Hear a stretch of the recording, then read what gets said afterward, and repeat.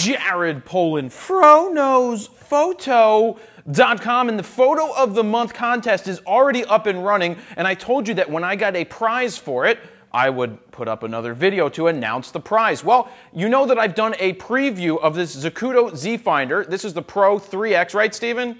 Yes, 3X, uh, just under 400 bucks. It is expensive, but it is a fantastic product if you are doing a lot of video.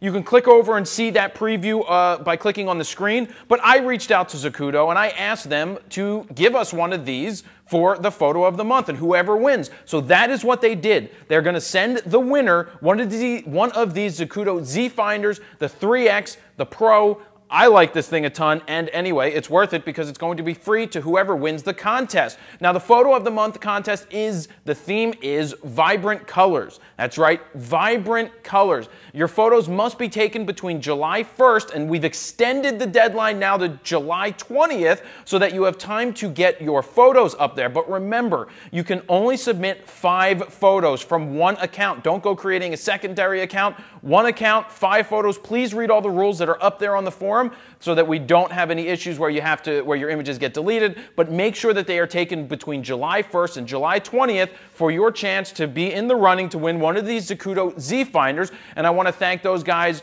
for for basically giving us one of these for nothing to give away to you for the photo of the month contest winner. So you have until July 20th to post your images until 12 noon Eastern Standard Time. And if you want to check out the preview that I did of this, click on the screen, and that is about it. Get over there to the forum, click the link below. That's how you can enter your photos and see all the rules. Jared Polin Fro knows. Fo fo fo photo.com. See ya.